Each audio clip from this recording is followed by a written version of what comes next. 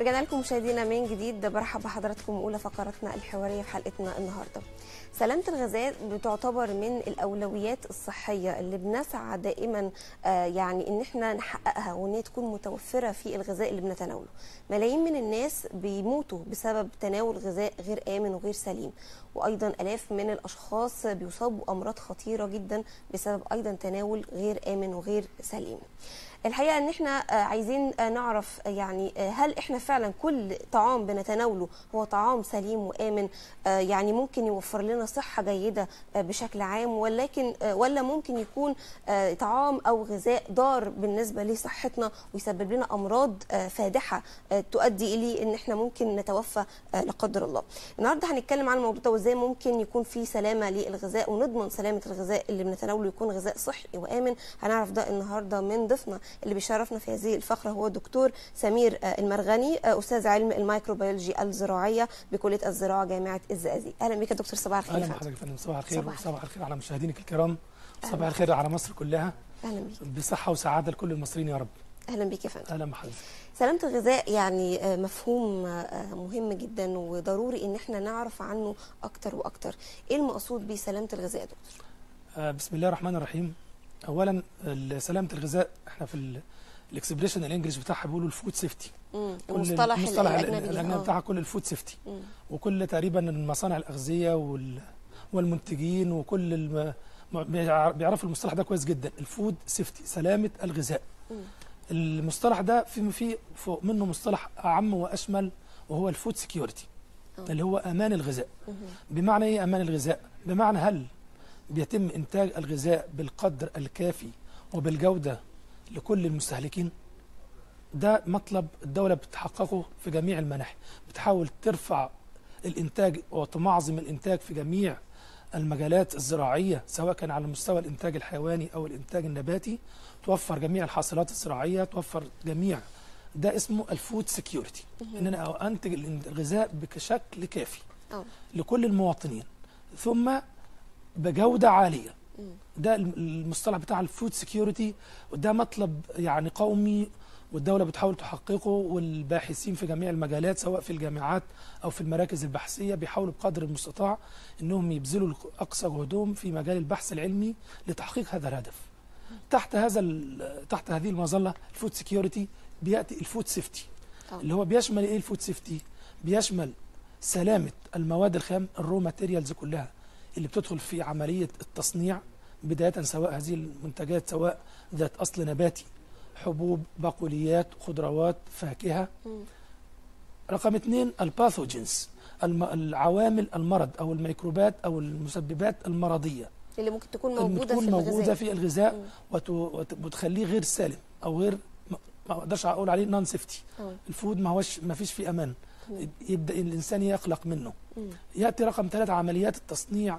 ال processing اللي بتتم على هذه المواد من أول المزرعة إلى الشوكه إحنا بنسميها from farm to fork. من المزرعة لشوكة المستهلك إزاي هو يح... يكون آمن على غذائه ما... ما يحصلش تداخل من الباثوجينز أثناء كل هذه العمليات خصوصا خلال مرحلة تداول خل- خلال مرحلة أو التداول والإعداد لأنه بيحصل في خلال عملية التداول في تداول يدوي في أشخاص بيتداولوا بالغذاء في عوامل طبيعية في التربة في الهواء في الحشرات في عمليات الحصاد والجمع والتخزين والنقل. كل ده محتاج أ- أ- شروط صحية أطبقها على الغذاء بحيث إنه يوصل إلى المستهلك في صورة آمنة. نعم. وبالتالي التعريف الشامل لل food safety أو سلامة الغذاء هو وصول الغذاء بصورة آمنة وخالي من كل الميكروبات الممرضة أو العوامل الفيزيائية أو العوامل الكيميائية سواء عناصر ثقيلة heavy metals أو متبقيات مبيدات أو متبقيات آه، رش المبيدات أو الحشائش وخلافه. يكون خالي من كل المخاطر. نعم. لأن لما أجي أخش على الجزئية اللي بعدها إيه الخطر ده؟ ما معنى إن الغذاء ده يكون فيه أي باثوجينز أو أي مواد كيماوية أو مواد ضارة أصبح بيسبب خطورة. آه. اللي هي كلمة باللغة الإنجليزية الهازردز مم. الخطورة دي يعني خطورة وقتية. بمجرد ما الإنسان يتناول هذا الغذاء يبدأ يشعر ببعض ما هوش سعيد مش مبسوط. حتى لو في آه، بعض الميكروبات البسيطه أو بعض السموم البسيطة جدا. لذلك أحد العلماء سماه التسمم البطيء. آه. إنه مش قادر يشعر بسعادة. أنا أنا أكلت وشربت بس في ناس مش قادر مش, مش سعيد ليه؟ لأنه بياخد أقل نسبة ممكنة من التسممات أو من الحاجات البسيطة. إحنا بقى عايزين نوصل لمرحلة الأمان الكامل. تمام. طب دكتور إيه المقصود بال- بالغذاء العلاجي أو الغذاء الوظيفي؟ هل في حاجة اسمها تمام. غذاء علاجي أو غذاء وظيفي؟ طبعا هو في ال- في البداية خالص الغذاء الصحي قبل الغذاء العلاج- العلاجي. كانت المصطلح الغذاء الصحي ده بدأ ينتشر في فترة السبعينات. لما بدأ ال- اللي هو ال healthy ال- food ال healthy foods. أنا عايز غذاء بمعنى انه يحقق لي كل المتطلبات الضرورية من العناصر الغذائية من البروتينات والكربوهيدرات والدهون والفيتامينات والأملاح والمعادن هذا الغذاء وتكون كل هذه العناصر بصورة متوازنة. مم. ده بنسميه الغذاء الصحي اللي إحنا كلنا نفسنا أولادنا واطفالنا ياكلوه. ال- وجبة غذائية متزنة بنقول تحتوي على كل العناصر بصورة متوازنة. من هنا بقى جت لما الحياة تطورت وأصبح في تكنولوجيا عاليه جدا بدأ بدأ في السبعينات يتطوروا رواد فضاء وعايزين معاهم أكل فلازم يحافظوا عليه بشكل آمن فترة طويلة ويكون صحي لأن هيقعد فترة طويلة في الفضاء. طبعا. بدأوا يطبقوا الشروط الصحية الأفضل. بعد كده تطور التطور بقى للتكنولوجي والعلم أصبح في غذاء دلوقتي النهارده غذاء علاجي أو غذاء وظيفي. بغرض إنه بيؤدي وظيفة معينة. بمعنى. إنه شخص مثلا يعاني من ما بيقدرش يشرب لبن. أما يشرب اللبن بيحصل له إسهال آه، مشاكل صحية. تقلصات. آه. لأن هو مثلا ما عندوش ال system بتاع اللي بيهضم الإنزيم آه، بي- بيهضم آه، سكر اللاكتوز. فإحنا دلوقتي بندعم هذه الأغذية ببعض البكتيريا النافعة. هذه البكتيريا بكتيريا نافعة وطبيعية موجودة في القناة الهضمية. إحنا بندعم الغذاء. نضيفها لبعض المنتجات الغذائية وخاصة الأغذية المتخمرة زي الألبان أو بعض الجبن. هذه البكتيريا بنسميها ال Bifidobacterium أو ال Lactobacillus أسماء يعني علمية. زي اللبن الرايب كده دكتور؟ اللبن ده بيحتوي على آه. البكتيريا النافعة. النافعة آه. ولكن أنا لما بنتج هذه الأغذية المرحلة الأولى أنا بنتجها ببادئ. البادئ غير البكتيريا الوظيفية أو العلاجية. تمام. البادئ وظيفته إنه يحسن لي المواصفات والنكهة للمنتج نفسه. يبدأ يحلل المواد أو العناصر الغذائية البروتينات ويحولها إلى بيبتيدات سهلة الهضم. وبالتالي أو يخفض الحموضة للمنتج. وبالتالي يبدأ عن- يظهر عندي الزبادي في شكل متجبن أو يظهر الجبنة أو تظهر عندي منتجات لبن رايب له نكهة وطعم. أما لما أدعم هذه المنتجات ببكتيريا علاجية هتبدأ تعمل عملية هضم لسكر اللاكتوز هحمي الأشخاص اللي عندهم حساسية من سكر اللاكتوز وبالتالي يقدر يتناول الألبان بشكل ما فيش بدون أي بشكل خطورة آمن. آه بشكل آمن. منه خطر. عندي أشخاص عندهم مناعتهم ضعيفة نظرا للإفراط الشديد في استخدام المضادات الحيوية. بيبدأ يأثر على العضو الأساسي في جسم الإنسان وهو عضو. إحنا كلنا نعرف إن الجهاز الهضمي البلعوم المريء مش عارف ال- اللي إحنا درسناه طول عمرنا. آه. لا في عضو إحنا ناسينه كله وهو العضو الميكروبي اللي هو العضو اللي هيقوم بتحويل كل العناصر الغذائية ديت إلى صورة ميسرة بالنسبة للإنسان يحل- يوفر لي الفيتامينات اللي أنا عايزها يوفر لي ال- ال- العناصر البيبتيدات الطبيعية اللي سهل الجسم يمتصها الشخص اللي عنده مناعة ضعيفة يرفع مناعته. أبدأ بقى أنا أدعم هذه الأغذية بهذه الميكروبات النافعة بكتيريا حامض اللاكتيك ومنها اللي بتخمر سكر اللاكتوز أو بترفع مناعة الجسم. أبدأ أضيفها وأشجع العضو الميكروبي إنه يبدأ ينمو في جسم الإنسان اللي هو است- استخدم الإفراط الشديد في المضادات الحيوية أو كان مثلا تعرض لعملية جراحية فترة طويلة وبالتالي اضطر إنه ياخد المضادات الحيوية لفترة طويلة كبيرة وبالتالي أثرت على أثرت مناعته. على أص- أصبح ما عندوش مناعة رقم واحد. أصبحت رقم اثنين العضو الميكروبي اختفى لأنه بدأ يزيله يحصل له عملية إزالة بالإفراط الشديد في الأنتيبيوتكس. آه. أنا محتاج بقى أعوض هنا كده. أصبح هنا الغذاء غذاء علاجي. إذا أم أدى دور علاجي بهذا الشكل أصبح إن أنا عايز أعالجه. لأن هذه الميكروبات لها ميكانيكية عمل يعني متميزة فريدة عن كل الميكروبات. الميكروبات الممرضة اللي هي نسبتها لا, لا تزيد عن 5% وخطورتها بقى يا آه ما أنا هقول آه. الميكروبات الممرضة ال pathogens دي لا تزيد عن حجم الميكروبات كلها 5% خطرة جدا. لا قدرة إنها تخترق بمجرد رغم إن نسبتها ممكن تكون قليلة قليلة في- جداً في بس الغذاء ولكن خطورتها عالية. خطورتها عالية لأن أنا وما أقدرش أميز الغذاء بيها ولا أقدر أقول إن الغذاء ده بيحتوي على pathogens يعني لما أبص على الغذاء لو أنا شفت أي في مظهر خطورة ممكن أتجنبه. صحيح. لو لاحظت في أي عمليات لزوجة أو لقيت في روائح غير مقبولة ست البيت أو في المطعم ممكن يبدأ يشوف الحاجات دي بسرعة ويتخلص بسرعة. لكن الباثوجينز ما يقدرش يشوفها. ده دي آه، حاجة ما بتعملش أي تغير في الغذاء. الغذاء ناقل فقط ليه. وإذا انتقلت إلى الإنسان أصبحت بتاخد مسار آخر غير القناة الهضمية. تخترق الدم وتوصل وتبدأ تسبب الأمراض. أما البكتيريا العلاجية اللي المفروض إحنا نضيفها في كعلاج أو الغذاء العلاجي أو الغذاء الوظيفي بتمر من القناة الهضمية. من ضمن أحد شروطها إنها تقدر تعيش في القناة الهضمية. عشان كده ادوا لها مصطلح بروبايوتيك بكتيريا حيوية أو بكتيريا علاجية. لما دعم بها الغذاء أصبح الغذاء غذاء علاجي أو غذاء وظيفي. تمام. طيب دكتور برضو في نقطة خطيرة جدا وهي خاصة بالتسممات الغذائية. تمام. العدوى الغذائية والتسممات الغذائية بنشوف إن ناس كتير ممكن بتصاب بتسمم نتيجة الغذاء وتحديدا الناس اللي بتفرط شوية في تناول الأطعمة خارج المنزل خارج المنزل ال- الأكل بقى. التيك اواي و- وفئة الشباب تحديدا بيبقوا مقبلين قوي على ال- الأطعمة التيك اللي من النوع ده. بالظبط. خطورة بقى التسممات الغذائية وتكرار. تمام. بهذه الحالات الخطيرة. اولا بدنا نعرف الفرق بين حاجتين العدوى الغذائية والتسمم الغذائي. تمام. العدوى الغذائية بتحدث نتيجة إن الغذاء هو الحامل أو ال carriers بتاع ال pathogens ده. مم. فإذا انتقل هذا الميكروب الحي عن طريق الغذاء إلى الإنسان وخاصة الإنسان يوميا بت... يوميا بيتناول الأغذية. ما يقدرش ما فيش حد ما بياكلش. أنت كل يوم بتاكل. فإذا انتقل هذا الغذاء بيسبب له عدوى غذائية. مم. إذا كانت هذه الميكروبات بتنتج سموم سموم ميكروبية هذه السموم بتفرز إما داخل الميكروب أو خارج الميكروب بتسبب للإنسان تسممات غذائية. هنيجي بقى نشوف مصادر العدوى ديت اللي بتحدث أو تسممات العدوى الغذائية أو التسممات الاثنين مش هيختلفوا عن بعض في كلا الاثنين هيؤدي بحدوث مرض للإنسان. في الحالتين, في الحالتين هو خطر. على الإنسان صحيح. أعراض الاثنين بصفة عامة أعراض التسمم الغذائي أو العدوى الغذائية بتتشابه كتير مع أعراض البرد. وغالبا كتير ناس ما بتقدرش تفرق ما بين هل هو حصل له تسمم ولا حصل له عدوى غذائية ولا جاله برد ولا إيه إيه النوع ده بالظبط. وبالتالي هو بيسرع بسرعة ياخد مضاد حيوي. لكن هو المفروض يبدأ يفكر هو اكل أنا أكلت إيه؟ تمام. إيه نوعية الأكل اللي أنا أكلتها؟ هل هذا تسمم غذائي؟ وبناء عليه أنا أقدر أحدد هل أنا مثلا أكلت منتجات لبنية غالبا أو منتجات ذات أصل حيواني سواء كانت ألبان أو لحوم أو أسماك أو مايونيز أو كاتشب. كل المنتجات اللبنية دي غالبا بتكون ميكروبات زي Listeria monocytogenes والسالمونيلا أعراضها شبه البرد بالظبط. صداع بقى صداع وارتفاع درجة قيء، الحرارة ارتفاع درجة حرارة. مم. فهو يتخيل ان هو عنده برد. دور برد دور برد. فالمناعة تضعف يبدأ ينتشر فيروس بتاع الإنفلونزا ويجي له برد برضه. وهنا بقى دكتور بتكمن الخطورة في إن في ناس ممكن تتسرع وتروح تاخد تاخد آه،. مضاد حيوي من غير ما يتم تشخيص للحالة أو يتعرف. يشخص يعرف آه. حالته هل أنا حصل لي تسمم أو عدوى غذائية ولا ده برد؟ تمام. لأن بناء على يختلف ال- النوع العلاج. ثانيا المنزل مسؤول عن 60% من أمراض العدوى الغذائية. مم. يعني البؤره الأكبر في المنزل مش في المطاعم. المطاعم 35% ثم المصانع اللي بتنتج الأغذية 5% لسبب بسيط إن المصانع عليها كنترول وعليها تحكم. مم.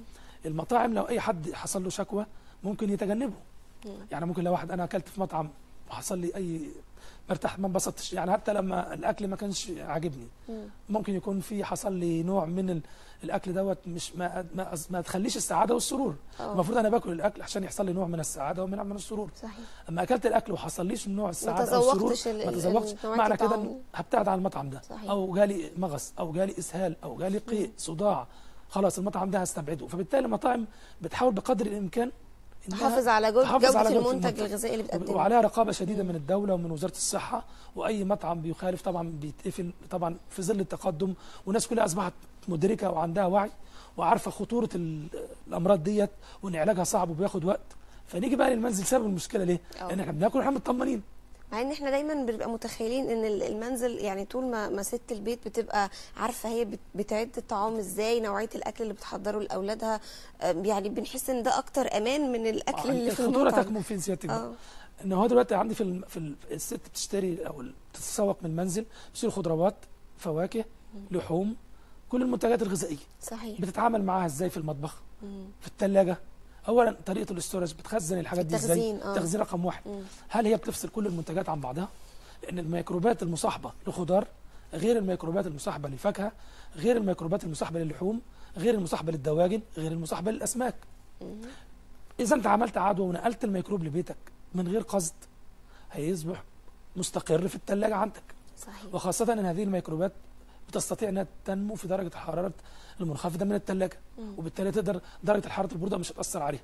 وبالتالي ممكن في الخضروات والفاكهة أثناء عملية التقطيع وتجهيز السلطة آه. هل أنا بستخدم نفس السكينة في التقطيع وتجهيز السلطة هي نفس السكينة اللي بستخدمها في اللحوم ولا أنا عندي فاصل ما بين أنا عندي وعي وإدراك صحي أن هناك ميكروبات ممكن تنتقل من هنا لهنا. حتى لو تم آه، غسيل وتعقيم الغسيل الأدوات والتعقيم ما يمرش عليه 24 ساعة. آه. لأنه الخطورة تكمن في ان أنا لو عدى على السكاكين أو وما تمش تنظيفها. وما تمش تنظيفها. بالصورة الجيدة وبالتطهير وبالتعقيم مم. خلال 24 ساعة بيتكون عندي فيلم ميكروبي على سطح هذه الأجزاء المعدنية. تمام بيكون هو بيكون مصدر العدوى. ثم رقم اثنين البنج اللي بتقطع عليه أو معلش ال- ال- ال- اللفظ المعمل اثر علينا. لكن اللي هو المس- المسطح اللي بتقطع عليه الخضروات المفروض يكون غير المسطح اللي هتقطع عليه الفاكهة غير المسطح اللي هتقطع عليه اللحوم. أو تمام. كل مكان يكون له ثم يتم تطهير هذه المسطحات بعد عملية التقطيع مباشرة بالكلور مثلا أضيف يكون مجهز عندي مثلا كلور معلقة شاي على لتر مية وأطهر المكان وأغسله. بعد الكلور أبدأ أغسله بالمية. عشان أو أبدأ أعمل عملية تطهير وأترك المكان نظيف. رقم اثنين الأيدي. آه النظافة بقى ال- الشخصيه. الإيد. أه طبعا. الإيد ده عامل أساسي في نقل معظم الأمراض. حصلت حالة من تفشي الأمراض في بلد في افريقيا في جنوب أفريقيا نتيجة إن هو عدم الاهتمام بغسيل الإيد. إن مثلا المفروض قبل الأكل وبعد الأكل أو في معظم التواليتات أو معظم يكون لابد من توفير الصابون. صحيح. الصابون لأنه المطهر أفضل مطهر للقضاء على الفيروسات لأن الفيروسات ما بتفضلش الوسط القاعدي. معظم الفيروسات بتفضل الوسط الحامضي. ولذلك معظم ممكن ألاقيها في الأغذية الحامضية في الأغذية ال- ممكن تسبب لي عدوى فيروسية أو عدوى عن طريق الفيروسات أما أنا لو اتعودت أصبح باست- باستمرار في قانون في المنزل دخلت من من البيت اغسل إيديك وأنت خارج اغسل إيديك أو أنت قبل الأكل أو بعد الأكل اغسل إيديك التطهير للأطفال تعليم أولادنا الصغير الصغار وخاصة إحنا السلوكيات الصحيحة السلوكيات. الصحيحة وخاصة. إحنا بقى داخلين على فترة الصيف. الربيع بقى الربيع والصيف وفي عندي دلوقتي فترة الرياح الخماسين وانتشار ال- الرياح هتكون عامل لنقل كل الميكروبات. وبالتالي العدوى تيجي عدوى بقى في العين وفي الأنف وفي. وفي الإيد وبالتالي ده كله يبدأ يدخل البيت. صحيح. ويمكن يا دكتور كمان جزئية يعني عدم الاعتناء بالنظافة الشخصية من أسباب أيضا ال ال الإصابة بأمراض من من من الأطعمة اللي بنجيبها من من الخارج. نتيجة إن العامل اللي بيعد الطعام ممكن يكون ما بيعتنيش بنظافة إيديه الشخصية ما بيرتديش ال- ال- الجوانتي الخاص بطهي الأطعمة اللي المفروض إن هو يكون آه، مرتديه يعني دي من الأسباب برضو الشائعة للاصابه دي طبعا. بالنسبة للقواعد الصحية والشروط آه. الصحية إن الأشخاص اللي بيتعاملوا دائما في الغذاء سواء في المطاعم وفي المصانع الكبرى لابد من إجراء الكشف الصحي والدوري عليهم صحيح وتح... وفي هناك ثلاث اختبارات أقرتهم وزارة آه، الصحة الصحة. وقررهم ال- منظمة الصحة العالمية مم. آه، كل من يتعامل بالغذاء سواء في مصانع أغذية أو في مطاعم لابد من توقيع كشف الفيروسات عليه لابد أن يكون خالي من, من كل الفيروسات ما. يكونش عنده أي فيروس. رقم اثنين لابد أن يكون خالي من كل الطفيليات البروتوزوا والديد كل الديدان. ممنوع ممنوع شخص يتعامل بالغذاء لأن الطفيليات والفيروسات من أخطر من البكتيريا. لأنها كائنات متطفلة إجبارا. يعني لابد أنها تعدي إنسان آخر وتنقل له الف- الفيروس. رقم ثلاثة لابد من كشف عمل أشعة إكس على السطر لخلوه من كل ميكروبات المسببة للالتهاب الرئوي. آه. وبالتالي كل المطاعم أو يعني والمصانع الكبرى. توقع الكشف الدوري على كل العاملين. العاملين في المجال وبالتالي أكون أنا كده حميت هذا القطاع من الخارجي. نيجي للقطاع الأسرة. لابد من الأسرة يكون عندهم الإرشادات الصحية إن في عندي كائنات دقيقة مش شايفها بعينيا زي البكتيريا والفيروسات والطفيليات ممكن أكون أنا سبب عدوى البيت بتاعي بيها. لابد من التطهير المستمر لجميع الأدوات. التسخين على درجات الحرارة الم- المناسبة. يعني لما أعمل بفتيك أو أعمل كفتة طبعا دي كلها لحوم مفرومة. صحيح. درجة أتأكد أن درجة الحرارة وصلت داخل ال- ال- اللحمة المفرومة أكثر من 70 درجة مئوية ولمدة كافية. على الأقل مثلا لمدة 10 دقائق أو ربع ساعة. ما أكتفيش فقط بأن أنا أعمل عملية تسخين سطحي وأترك بقايا ال- ال- داخل ال- اللحوم أو داخل الكفتة أو البفتيك أو البرجر أو الحاجات دي كلها. دا- داخل درجة الحرارة ما وصلتش الدرجة المناسبة. آه. رقم اثنين تبريد السريع لكل المنتجات. أنا عملت تسخين وطهي عند درجة حرارة مناسبة. طبعا الحاجات المغلية ما بيكونش فيها خطورة قوي. لأن. طبعا أنا بغلي وبكون مطمن. ان أنا وصلت درجة حرارة الغليان. درجة حراره الغليان كافية لقتل معظم الميكروبات. الميكروبات. أما بالنسبة للجراثيم اللي هي البكتيريا المتجرثمه مم. درجة الحرارة دي مش كافية لقتلها. فلازم أتأكد إن درجة الحرارة وصلت أكتر من 70 لمدة كافية من 10 إلى 15 دقيقة. ثم التبريد لأن دورة حياة الميكروبات صغيرة جدا إحنا مش آه. ممكن نتخيلها عشان إحنا مش شايفينها دورة لأن هي حياتها كائنات دقيقة جدا لا ترى لا ترى بعين مجرد. أنا محتاج آه. مثلا ميكروسكوبات عشان أشوفها محتاج أكبرها محتاج أنميها على بيئات عشان أشوفها صحيح. دورة حياتها صغيرة جدا 20 دقيقة طب ما حضرتك متخيله لو أنا عندي 1000 خلية في جرام لحم بعد 20 دقيقة هتبقوا هيبقوا 2000 بعد 40 دقيقة بقوا 4000 لذلك هم حددوا الأربع ساعات الوقت الكافي بعد عملية الطهي لابد أن أحفظ في الثلاجه مباشرة إذا كان تم عملية الطهي. يعني أنا قضيت على كل الميكروبات. من هنا بقى ما فيش ما فيش أي خطورة. هيبدأ الغذاء يتعرض لدرجة الحرارة الغرفة. هنا أصبحت في خطورة. لأن لو آه. حصل أي تلوث أو أي عدوى وانتقلت الميكروبات إلى الغذاء أصبح في خطورة. وبالتالي من الأفضل بعد عملية الطهي بوقت أربع ساعات أو ثلاث ساعات يتم تب- تبريد الغذاء مباشرة في الثلاجه واحفظه عند درجة حرارة أقل من 5 درجة مئوية.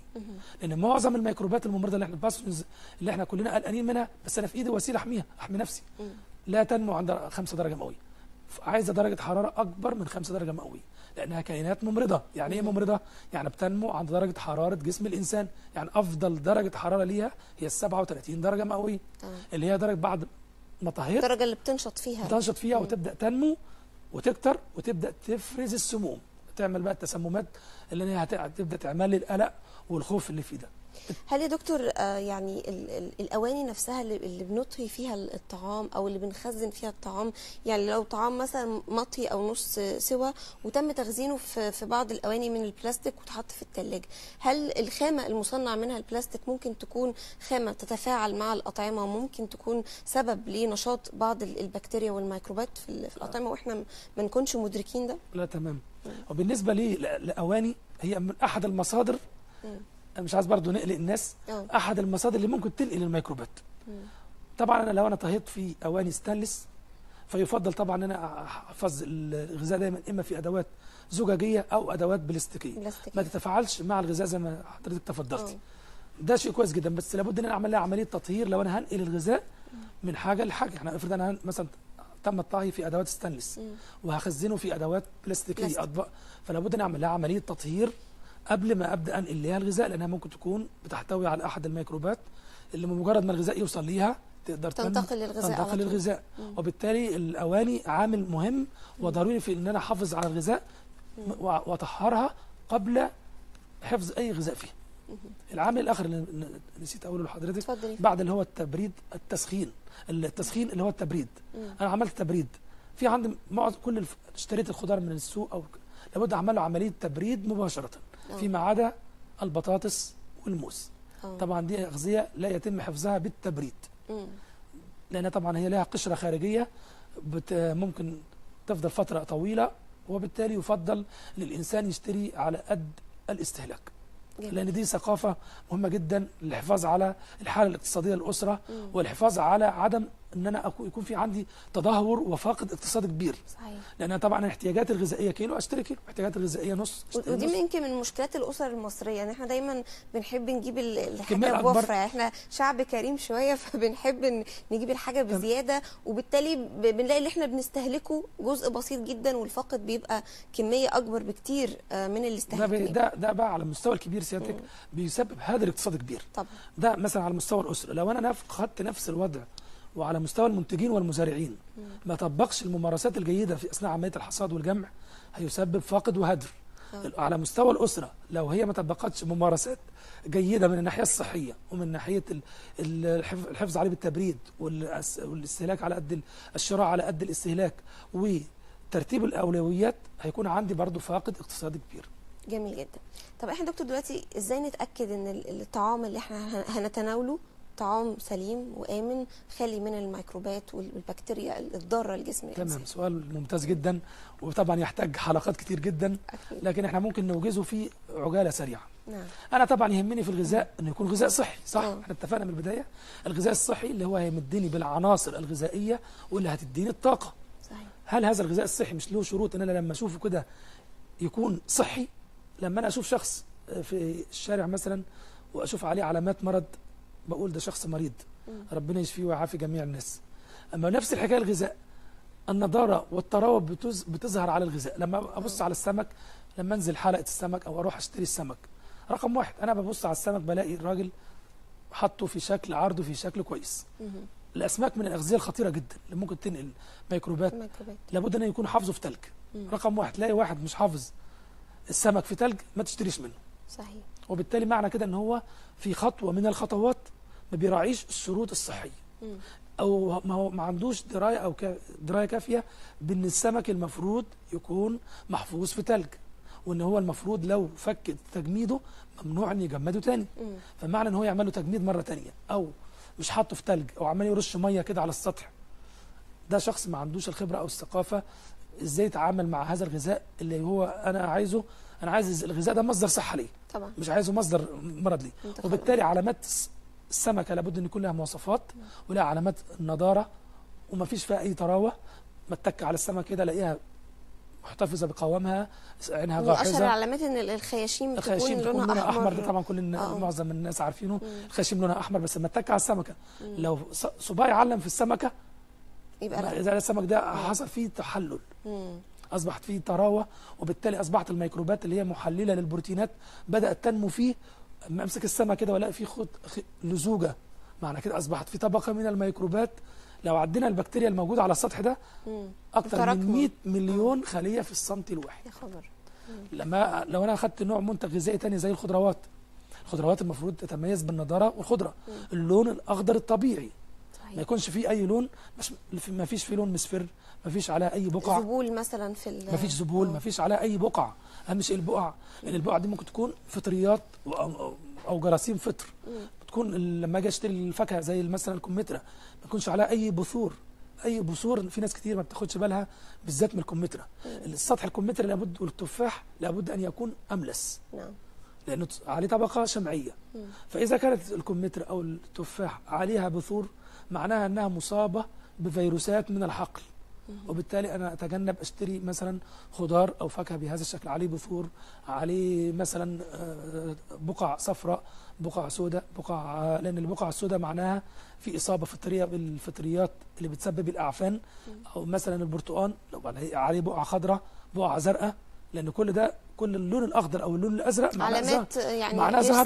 آه. معناه إنه ظهر معناه إن الفطر نما أو. بالحجم الكافي. ووصل إلى العدد الكافي عدى مثلا 100 مليون خلية في السنتي. وبدأ يظهر جراثيمه. لما بنميه في المعمل أنا بشوف الكلام ده على الأطباق البيئة الغذائية بتاعه الميكروب. طب ما بالي أنا بل سيادتك بقى أنا بشوفه على الغذاء نفسه. وبالتالي أنا مثلا لما أجي أشتري أكون حاطط في قرارة نفسي بعض الشروط. أنا هشتري منين؟ إيه نوعية الغذاء اللي أنا هشتريه؟ فإذا كنت مثلا هشتري من شركات أو مصانع أو شركات كبرى لابد أن أنا أتأكد رقم واحد هل هذه الشركة أو المصنع حاطط تاريخ الإنتاج وتاريخ الانتهاء وفترة الصلاحية اللي إحنا بنسميها ال shelf life. أو عمر حياة المنتج. إحنا في دراسات في في المعمل ممكن نقعد مثلا ثلاث سنين عشان ندرس عمر حياة المنتج عشان أقدر أقول للشركة بس المنتج ده هيقعد أسبوعين في الثلاجه. أو هيقعد مثلا شهر في في درجة ال zero. أو هيقعد في ال minus 20 مثلا لمدة ست شهور.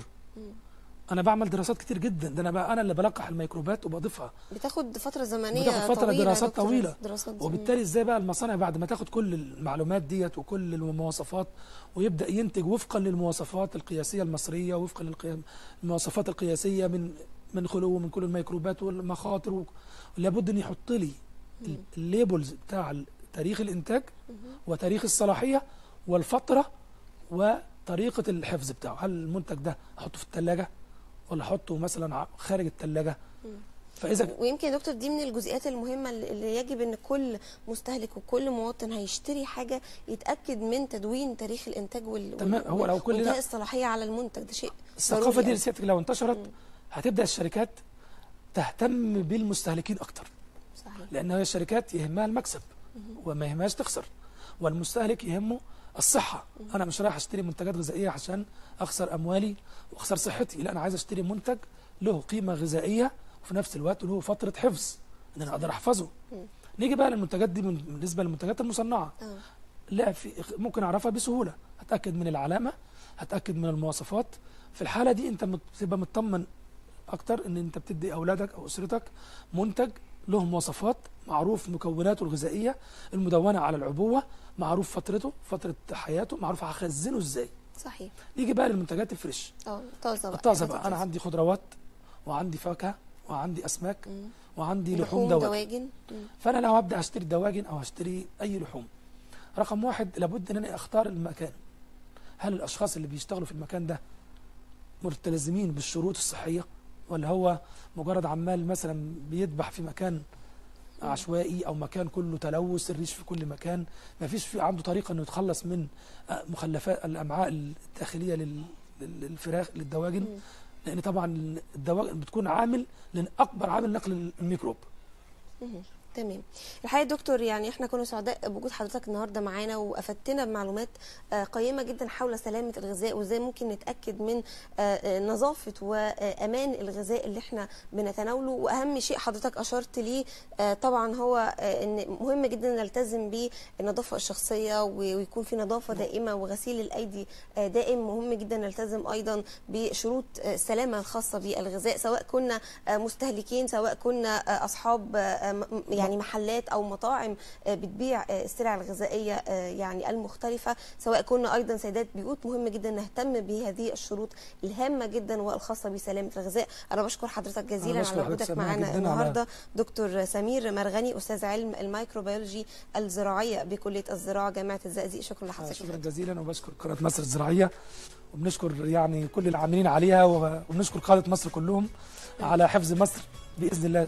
وإن شاء الله نحفظ كل المواطنين في سلام ويكون في معنا حلقة عن الغذاء العلاجي لأنه محتاج إن شاء فترة الله أطول إن شاء الله إن بإذن شاء الله. دكتور بإذن الله. شكرا لحضرتك. شكرا جزيلا يا فندم. مشاهدينا فاصل قصير خلال هذا الفاصل هنتابع مع حضراتكم البيان السادس عشر الخاص بالعملية الشاملة سيناء 2018 وبعد ما نشوف مع بعض هذا البيان نرجع معاكم وتاني فقرة حوارية في حلقتنا النهاردة. انتظرونا.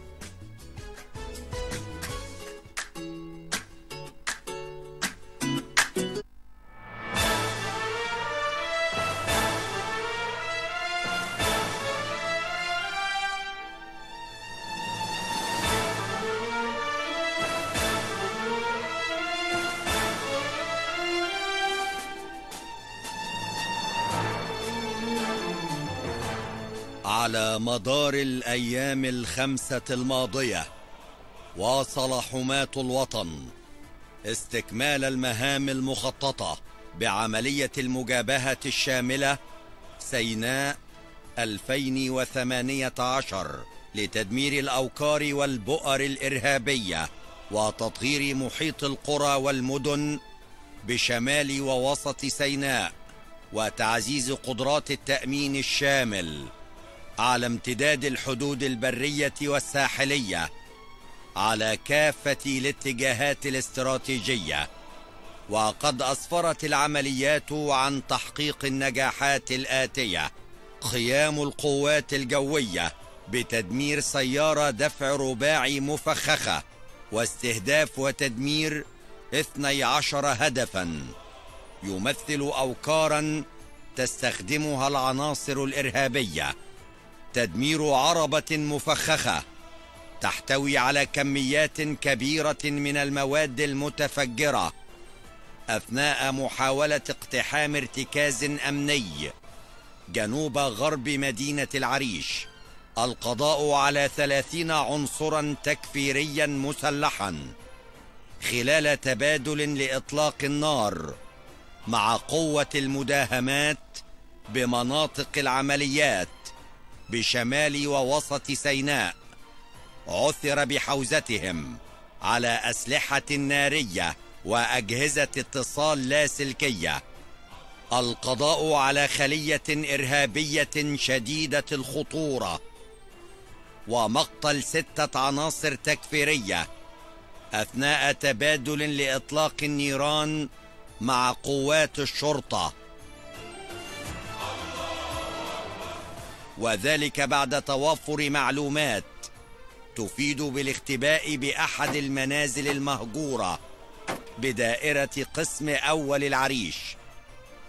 تنفيذ مداهمة لبؤرة إرهابية بمدينة رفح نتج عنها العثور على رشاشين وثلاث بنادق آلية وقناصة وخرطوش وقاذف آر بي جي وعدد من الذخائر الخاصة بهم بالإضافة إلى مركز إرسال.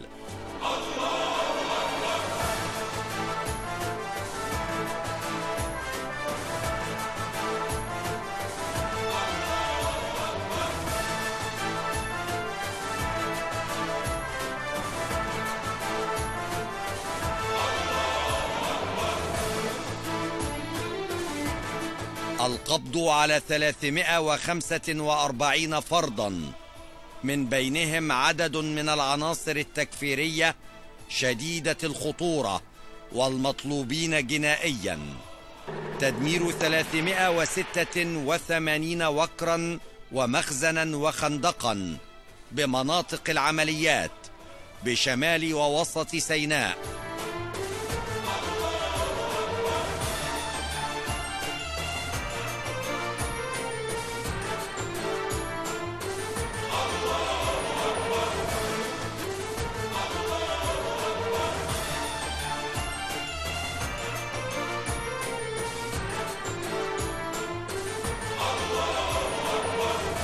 قيام عناصر المهندسين العسكريين باكتشاف وتفكيك وتفجير 93 عبوة ناسفة تم زراعتها على محاور التحرك المختلفة لاستهداف القوات بمناطق العمليات.